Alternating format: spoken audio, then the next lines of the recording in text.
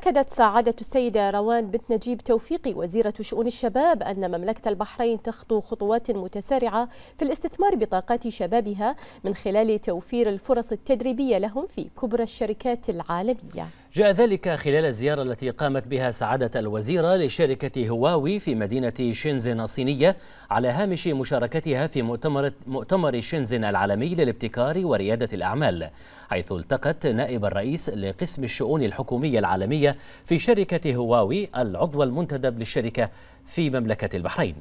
وخلال اللقاء تم تقديم شرح عن برامج وزارة شؤون الشباب الداعمة لمهاراتهم كما تم بحث مجالات التعاون بين الجانبين في تدريب الشباب في مجالات التكنولوجيا وإكسابهم المزيد من الخبرات في هذا المجال عبر مبادرات مشتركة.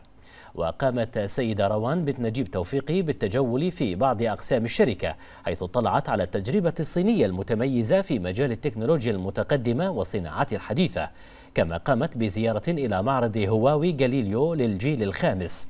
هذا وبينت سعادتها أن مملكة البحرين تولي أهمية مضاعفة أهمية مضاعفة للارتقاء بقدرات الشباب في مجال التكنولوجيا وتقنية المعلومات من خلال عقد المزيد من الشراكات البناءة مع مختلف الشركات العالمية بما فيها شركة هواوي.